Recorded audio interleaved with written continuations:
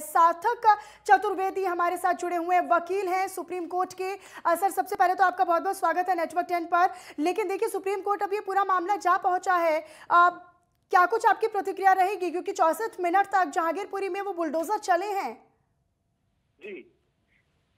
देखिए पूरा जो मामला है आप अगर देखें कि ये बार बार वहाँ पर देखा जा रहा था कि अतिक्रमण जो है वहाँ पर जो है किसी न किसी तरीके से अतिक्रमण किया गया है हम्म।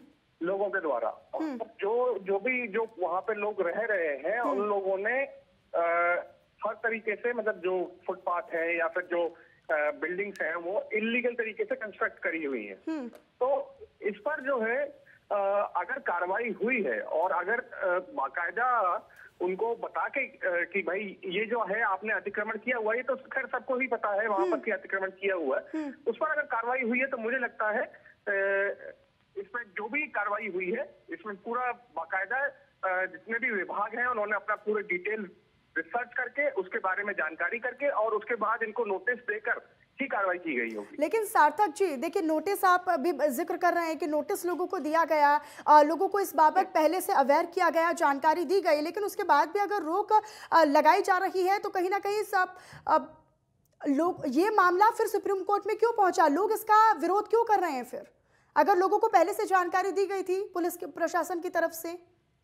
देखिए हर पक्ष को जो है अपना आ, मामला जो है न्यायालय में रखने का पूरा हम्म। संवैधानिक राइट है हम्म। तो उसमें अगर कोई दूसरा पक्ष जो है वो जाके ये सर्वोच्च न्यायालय में कहता है कि ये जो कार्रवाई हुई है वो गलत कार्रवाई हुई है हम्म।